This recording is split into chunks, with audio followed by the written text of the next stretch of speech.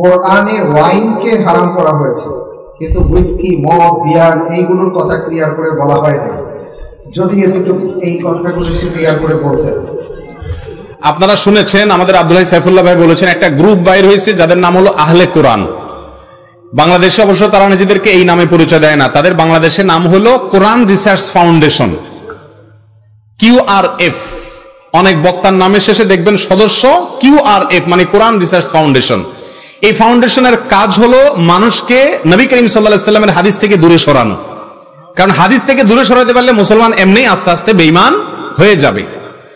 তো এই সমস্ত লোকগুলোর এরকম উদ্ভট অনেক প্রশ্ন অনেক সময় থাকে। যিনি প্রশ্ন করেছেন সেবাই হয়তো সেরকম না, কিন্তু সচরাচর এরকম প্রশ্ন থাকে।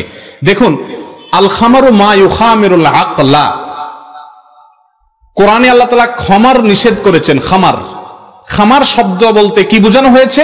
তার সঙ্গে বলা হয়েছে যেটা মানুষের মাথা নষ্ট করে দেয় সেন্স নষ্ট করে দেয়, মানুষের ভিতরে মাতলামি এনে দেয়, এই সবগুলাই খমর। আর সেই খমরকে আল্লাহ বলেছে ইনামাল খামার ওয়াল মাইসির ওয়াল আনসাব ওয়াল আজলাম রিসুমিন আমালি শয়তানি ফাজিতানিবু। এগুলো সব মদ জুয়া এগুলো হারাম কাজ। অতএব মদ বলতে শুধুমাত্র হুইস্কি বলেছে ওয়াইনের কথা বলে না ভাই, ওয়াইন বলছে, হুইস্কি বলে এমন না। যা মানুষের মধ্যে মাতলামি সৃষ্টি করে, তার সবই কি? মদ এবং হারাম। জি।